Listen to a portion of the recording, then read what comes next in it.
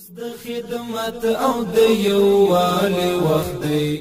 پروژه ساخت سرک و آبرو در قلعه چتگر ناحیه 13 هم جریان دارد. کار پروژه ساخت سرک و آبرو در قلعه چتگر ناحیه 13 هم به طول 1710 متر که چند قبل از سوی شارولی کابل آغاز یافته بود جریان دارد. تا کنون کار این پروژه بیش از 80 درصد به پیش رفته و به زودی تکمیل و مورد بهره برداری قرار خواهد گرفت. تقریبا 950 متره کوڅې دي دلته په طول باندې چې دغه نه یو سل درویشت متره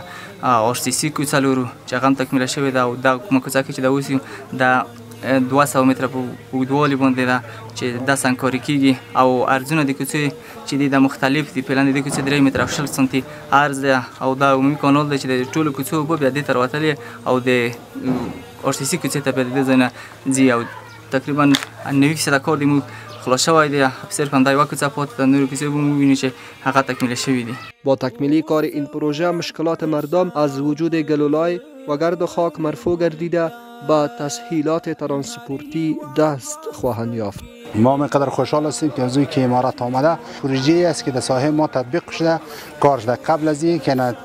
در حکومت قبلی بود شاید بر شما تر گفتم قطعا می‌تونم که یک متر هم کار نشده. قبلا بود این ساحه بسیار اوی بسیار خراب بود این جا کلا خراب بوده. حالا کار شهرداری جریان داره جور می‌کنه. تشکری می‌کنیم ما شاروالی تشکری می‌کنیم که غم مردم خوردن. همین کوچه ها را گرفتن کانکریت کردن مردم راحت شدن آسوده شدن هم پتما زمون اوس د دې ټولو د ساتنې وخت دی اوس د خدمت او د یووالي وخت دی